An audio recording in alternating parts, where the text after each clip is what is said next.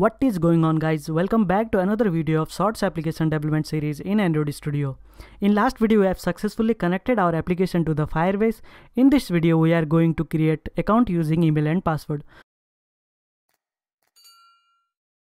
So let's go to sign up activity and bind all the views. So previously we used to do find view by ID but for this project we will be using view binding.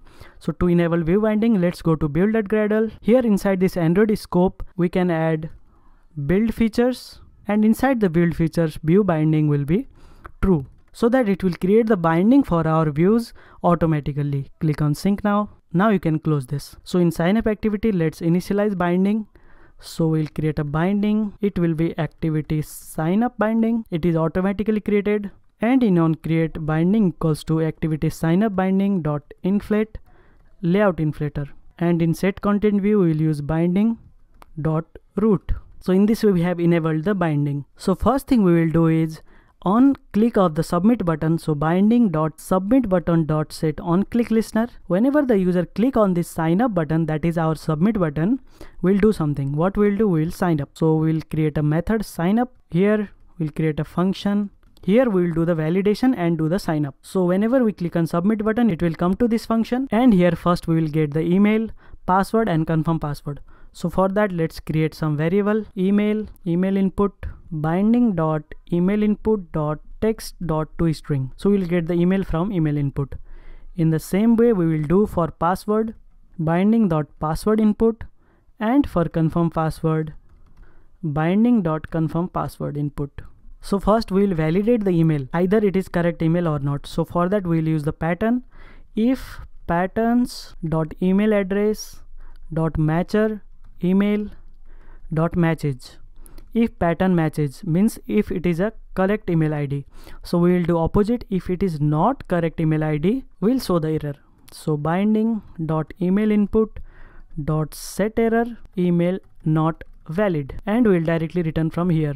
So if email is invalid we don't go ahead. Now we'll check for password length. So password dot length is less than 6 if the password length is less than 6 then also we'll show the error. Binding dot password input dot set error. Minimum 6 character. You can change your input text according to you and return from here. Also if password is not equal to confirm password. If password and confirm password are not same then also we'll show the error. Binding dot confirm password input dot set error. Password not matched and we'll return from here. So in this way we will do validation for all three things. If all the validation are passed it will come to this line. That means we will sign up. So what we will do we will sign up with firebase. We'll create a method here. So after everything is validated we'll go to sign up with firebase.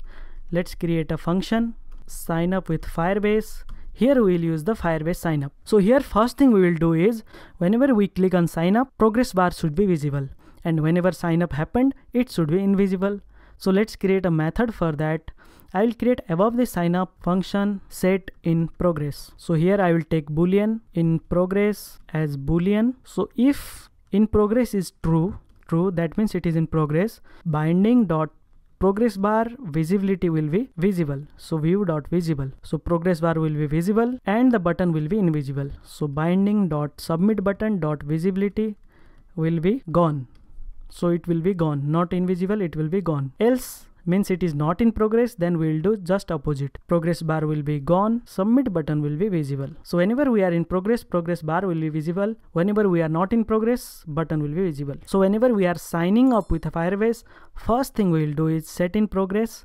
That will be true means we are in the progress. Now we will create account using firebase. So how to do that? Firebase auth dot get instance dot create user with email and password. We have this method. Create user with email and password. Click it. And here we will pass email and password. We'll take it in sign up firebase. So how we will take that? Email string password string. So we'll get it from this method. Here we'll pass email and password. So from this edit text we got the email that we are passing to this function sign up with Firebase. So from here we will pass it to Firebase auth. So email will be email, password will be password. So in this way it will automatically create the account. If you add on success listener, we can see if it is success or not we can show a toast for now application context success length will be sort dot show so we'll just testing it by creating an account with email and password let's run and test so here we are in sign up activity. Let's just click directly. Our validation is working or not. So you can see over here we have this email not valid because we have not added email. So test at gmail.com let's say. If we click on sign up it will say password minimum character is 6 let's give 6 character that is 1 2 3 4 5 6 and let's give random confirm password. So it will say password not matched. So we'll give the correct password here 1 2 3 4 5 6 now if we click on sign up it should sign up. So progress bar is visible. And we have this success message. We have not disabled the progress bar. That we will do but we have the success message. If you go over here in the authentication go to users. So we have successfully created one user. That is test at gmail.com and it has assigned the user id also we have the date we have the identifier. So in this way our create account is working. But we don't want only to be created here. We want the user information in the database also. Not only in authentication we want to store in database also. So for that we will enable first firestore database. Go to build firestore database. Create database. Start in test mode. Next you can select any location. Click on enable. So this will create cloud firestore database since we want to some user information here we don't only want in authentication. We want to store the user information in authentication as well as in firestore database. So what i will do i will just delete this user as of now. We were only testing so let's delete this account. Now let's get back to the project. Here what we will do go to assistant and we have to add the sdk for cloud firestore. Let's go to cloud firestore and add the cloud firestore sdk to our application. Accept changes so now we can use the cloud firestore so what we will do over here, whenever we are success, we'll create a user which will have email address, user ID and other things. So how we will do that? Let's create a model for that. Let's go to our package, new. Let's create a new package that will be model where we will be adding all the models. Now go to model package, new, Kotlin class and let's select data class. This will be the data model. That's why data class. Give the name user model. Enter so we have this data class and inside this parenthesis we have to add the items. So what will be the items? You can only decide. Let's be user ID that will be string. By default it will be empty string. Email also. In the same way we will have username also. In the same way we will have profile picture that we will implement later.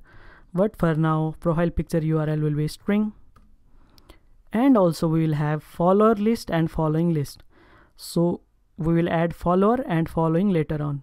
So it will be mutable list of string so that we can increase and decrease the followers. We'll provide by default mutable list of empty list. Same way following list user will have mutable list of string which will be empty mutable list at first. So our data class is ready. You can add more information but for as of now we want only this let's go to sign up activity.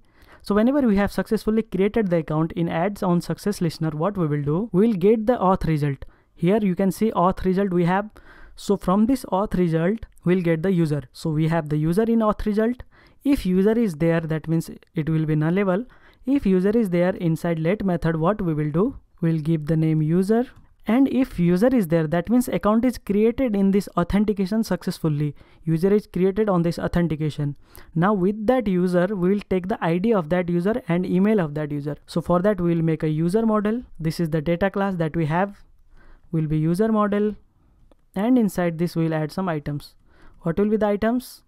The id email username profile picture follower list and following list so let's add id so id we will take from user.id there we can see over here we have the user uid that we'll take. So user.uid second is the email. Third thing we are storing username. So what we will do for the username? If user has added the test at the gmail.com we will extract this test from here and it will be the username. Whatever the value is before this at the rate that will be the username. So for that i will write email dot substring before at the rate. So whatever it is before at the rate it will be the username. So these three things we require as of now. And profile picture will be empty follower and following list will be empty string. So that's okay. We have created the user model. This we have to save in this cloud firestore so how to do that? We will use firebase dot firestore dot import firebase firestore dot collection. Will create a collection of users. In the users collection we will add document. Document id will be user dot uid and we'll set the data. What will be the data? That will be newly created user model. So here user model. And we'll add on success listener to this also so that we will get to know when user is created so here we will show the toast. So instead of writing toast every time what i will do? I will create a util package. And inside this util package i will create an class.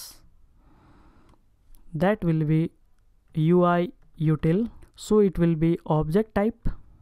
We'll create one function that is show toast. We'll take context and we'll take a message and here we will show toast dot make text context message will be message length will be long and we'll show the toast. So we'll call this show toast from anywhere we want to show the toast. In sign up activity ui util dot show toast context will be application context message will be account created successfully. So in this way the account will be created. And after this we will set in progress to false so that this progress bar will be invisible after creating the account and once we created the account successfully we'll go to main activity. Start activity intent application context and main activity class.java so whenever we are success we'll go to main activity and we'll finish this activity. So the sign up activity will be finished. Now one more thing we have if we have success this will show this message. But if the failure happens if any exception happens we have to add on failure listener also. So on failure listener so whenever we are failed it will give the exception. We will just show ui dot show message will be from this exception that is it dot localized message if there is no localized message we'll show something went wrong and we'll set in progress to false. So if it is failed we are not moving to main activity. Let's run and test everything is working or not. Let's give the email address at captain at gmail.com password will be 123456 confirm password also same and let's click on sign up either account is created or not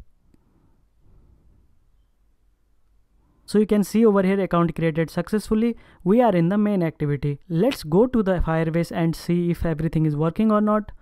Let's reload this user. We have the user captain at gmail.com. We have UID also. Let's go to the Firestore database. And you can see over here we have users collection. Inside that collection we have the user ID that is from authentication and we have email, follower list empty, following list is empty. We have id we have profile picture and the username that is extracted from email itself in this way our sign up feature is working absolutely fine. In next video we'll design the login activity and also we'll implement the login feature so that we can log in with the credential of already created account. If you enjoyed this video please hit the like button. If you have any doubts and queries please comment below. I will reply for you. Don't forget to hit the subscribe button before going. See you in the next video. Bye bye